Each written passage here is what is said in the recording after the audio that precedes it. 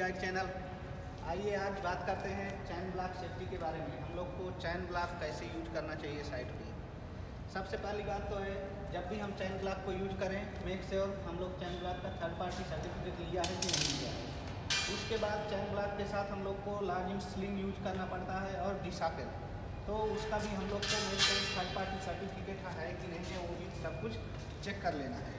और साथ में बेल्ट का कैपेसिटी भी देख लेना है, जैसे कि बेल्ट में आपको मालूम है सभी बेल्टों में ऐसा करके एक स्टिकर लगा रहता है। और चैन ब्लॉक को हम किस तरह से यूज़ कर सकते हैं?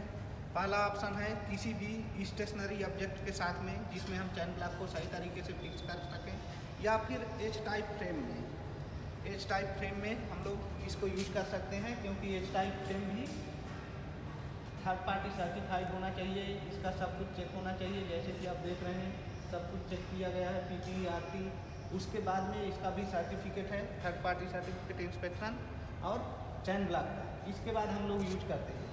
और चैन ब्लॉक को कभी भी यूज़ करने के टाइम इसको हमेशा वर्टिकल पोजीशन में यूज़ करना है। चैन ब्लॉक को कभी भी अगर हम हॉरिजॉन्टल पोजीशन में यूज़ कर रहे हैं तो इसमें जो लोड है ये कम हो जाएगा और चैन ब्लॉक कभी भी फेल हो सकता है। आप देख रहे हैं, ऐसे टाइट हो रहा है। लेकिन अगर हल्के हॉरिजॉन्टल पोजीशन में, ये ऐसे टाइट होएगा, लेकिन कभी भी ऑटोमेटिक ऐसे यूज़ होने का चांस है। इसके लिए मेक श्योर जब भी आप चैन ब्लॉक का इस्तेमाल करें सब कुछ चेक कर लें specially safety latch hook condition chain condition and chain easy और नॉट ये सब कुछ चेक करने के बाद ही चैन ब्लॉक का कभी भी इस्तेमाल करें। और चैन ब्लॉक, जहाँ पर भी आप इस्तेमाल कर रहे हैं, वहाँ पे मंथली कलर कलर कोड और इंस्पेक्शन होना बहुत ज़रूरी है। जैसे कि आप देख रहे हैं, ये हमारा monthly colour code inspection sticker है, ये मंथली कलर कोड है। ये सब मंथली हम लोग को इंस्पेक्ट करना है, लेकिन हर इस्तेमाल से पहले जब भी आप कहीं पर भी यूज़ कर रहे हैं चैन ब्लॉक को, एक बार ज़रूर से ज़रूर चेक कर लें, उसका कंडीशन अच्छा है कि नहीं है।